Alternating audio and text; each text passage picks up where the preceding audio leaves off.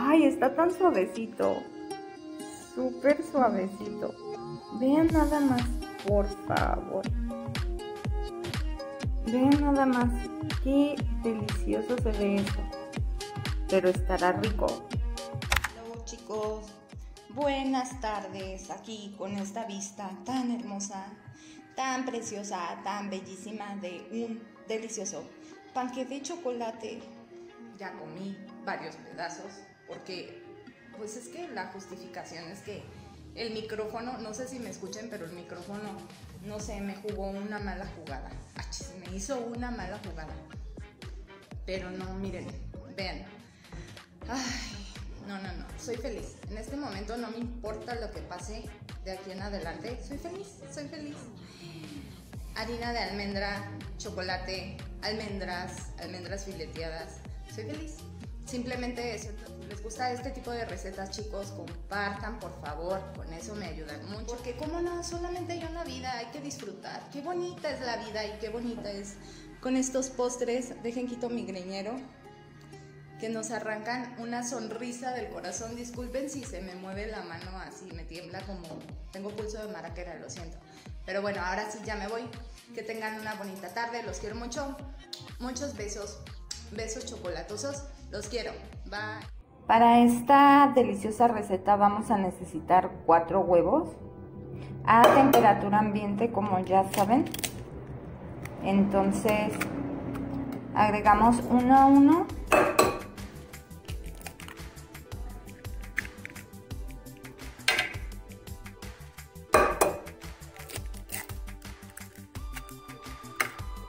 Este, huevos son tamaño grande, ustedes pueden, si tuvieran de tamaño chico, le ponen uno extra. Y le agregamos 50 mililitros, de 30 a 50 mililitros de aceite de coco. Lo pueden omitir, o lo pueden cambiar, perdón, por aceite de oliva o aceite del que ustedes estén utilizando, que utilicen normalmente. Ahora le vamos Ahora le vamos a agregar un poquito de vainilla para perfumar. Y tenemos todos nuestros ingredientes líquidos aquí. Ahora, como este recipiente ya me quedó un poquito pequeño, lo que voy a hacer es que lo voy a pasar aquí. Aquí tengo 150 gramos de harina de almendras. Como pueden ver, la harina de almendras es un poquito más granulosa, pero la pueden modificar por harina de coco, harina de avena, harina de trigo, si no están en, en dieta o en una alimentación reducida en carbohidratos, pues pueden hacer esto. Como siempre yo les doy las opciones y ya ustedes eligen, ¿sale? Entonces, bueno, aquí son 150, puede ser de cualquier esta, de este tipo de harinas, más 50 gramos de cacao, de cocoa, perdón. Y como ingredientes secos también vamos a agregar dos cucharaditas de polvo para hornear royal o pueden ponerle también bicarbonato de sodio.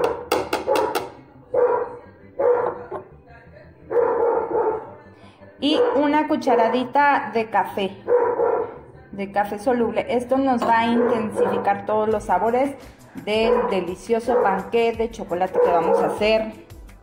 Ahora vamos a agregar esto de aquí para acá, ¿vale?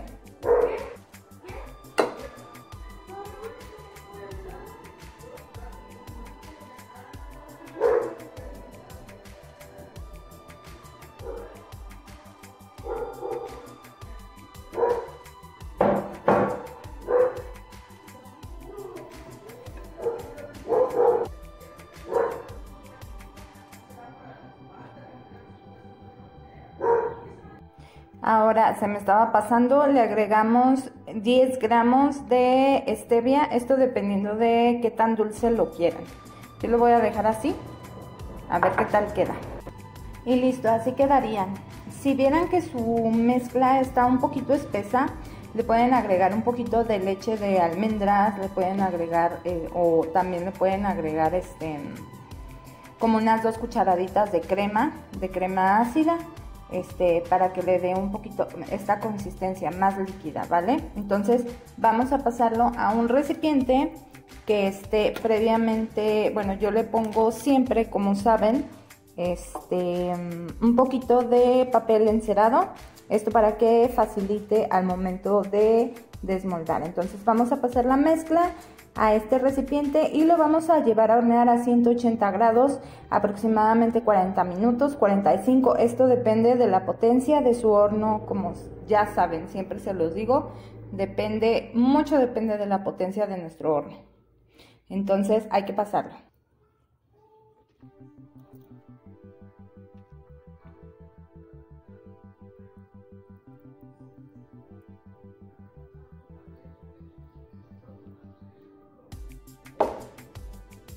Y ahora sí, nos vamos a hornearlo.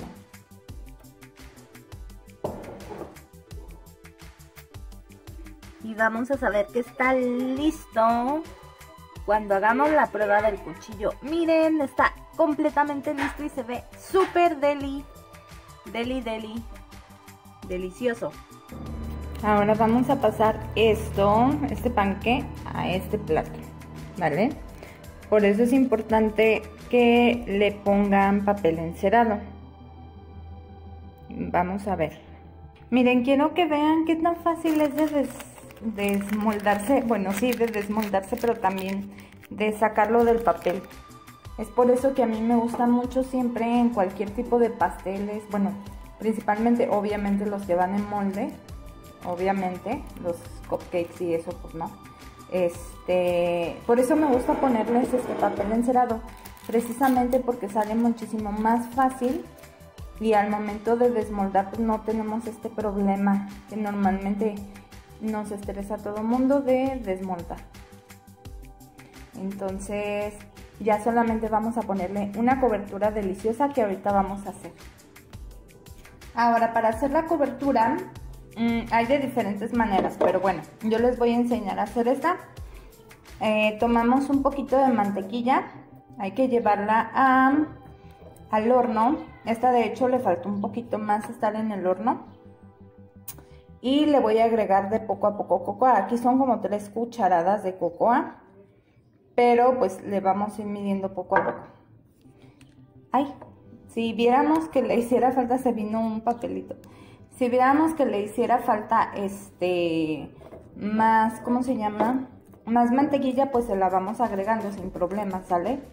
Entonces, y le vamos a agregar el dulzor, pues a nuestro gusto también. Entonces yo creo que le voy a agregar unos dos sobrecitos. Pero como les digo, o lo pueden dejar así, si son muy intensos, pues lo pueden dejar así. Pero yo sí le voy a agregar un poquito de dulzor. También le pueden agregar, este, y queda muy bien para contrastar los sabores, un poquitín, una pizca de sal para resaltar esos sabores. Entonces, bueno, ahorita se las muestro, déjenlas llevo al horno. Miren chicos, ya aquí ya le puse la cobertura. ¿A poco no se ve bien bueno? Ya nada más me faltaría como unas almendras o nueces o algo así. Yo creo que le voy a poner para que se vea más bueno. Mm, miren, aquí tengo un poquito de almendras troceadas. y ustedes les pueden agregar nuez, pero es que la verdad es que no tengo nuez me las acabé. Entonces, bueno, pero con almendras, cacahuates o chocolate también en trocitos, sin azúcar obviamente, pues también queda súper bien. ¿Sale? Entonces, así le ponemos todo encimita para que se vea bien bueno y quede bien bueno. Aparte esos contrastes de colores y de texturas son lo que hacen la diferencia. ¿A poco no se ve deli? Y me imagino que ha de estar súper riquísimo, entonces pues hay que probarlo. Esta es la parte que más, más me gusta. Bueno, yo creo que a todos. A todos, a todos. Vamos a ver qué tal está.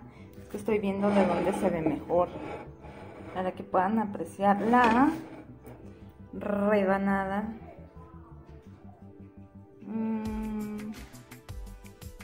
Está tan suavecito. Súper suavecito. Vean nada más, por favor. Vean nada más. Qué delicioso se ve esto. Pero estará rico.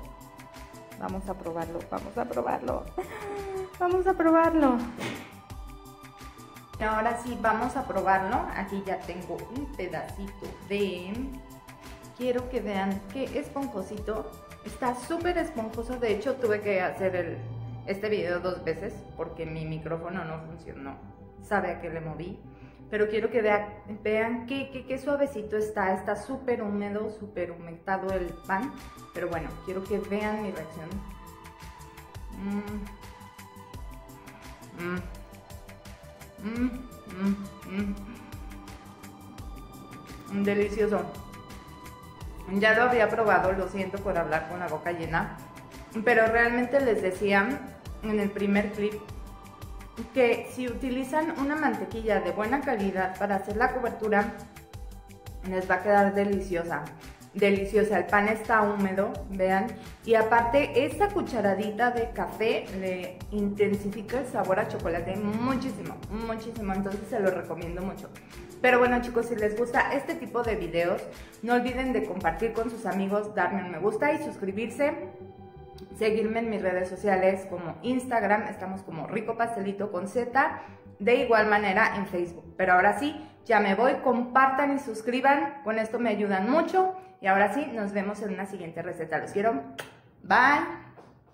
Y mientras tanto yo me como mi pedazo restante.